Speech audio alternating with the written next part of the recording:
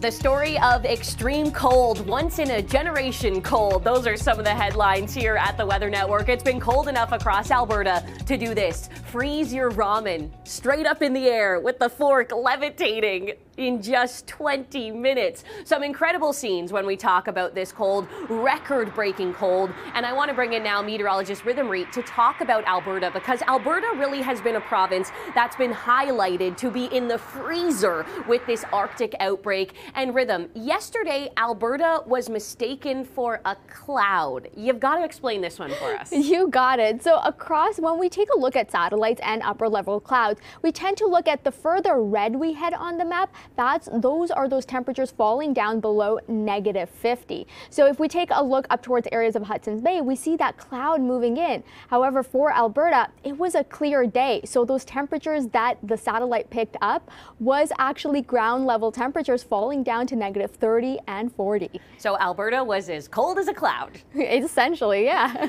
Now, we did see our first minus 50 of the season. So where was that? That was in uh, Keg River, Alberta. So this was the first 50 that we have recorded since 2004. 20 years and we're back at those dipping down cold temperatures once again. Wow. Now, it does seem like January 12th was really the peak of some of the cold across Alberta and within the interior of BC. So let's go over some of those records. Well, when it comes to Edmonton, that was one of the places that we saw those records being broken, specifically Edmonton Airport. We had the coldest daytime high of negative 34.4 degrees recorded. On top of that, the same day we got to uh, recorded the coldest temperature recorded, or rather the third coldest temperature recorded at negative 45.9.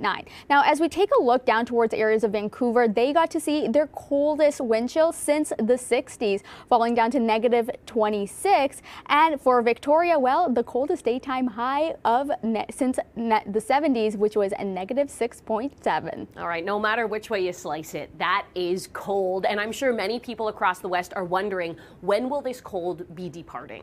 Well, I have good news for them. All of the cold air is luckily departing as we head towards the middle of this week. It's going to be shifting towards the east and that polar vortex is finally going to migrate back up towards the north where it truly belongs. Absolutely. Now let's talk about these temperatures because Alberta is a province that has seen some pretty incredible temperature swings and rebounds. We're talking maybe 20 degree difference, right? Well, we're looking at possibly 30 degree difference. As we go towards next Saturday into Sunday, we will be looking at Medicine Hat going from negative 35 on Monday up towards 5 degrees. And now we've seen this swing before in the past where all the way back in 2003, a place like Medicine Hat got to see a 37 degree temperature rebound just within seven days. All right, I think many people across Alberta are ready to finally thaw out, but people now across Ontario and Quebec, they're about to head into the freezer, right? Well, cold temperatures for sure that we have not seen thus far into across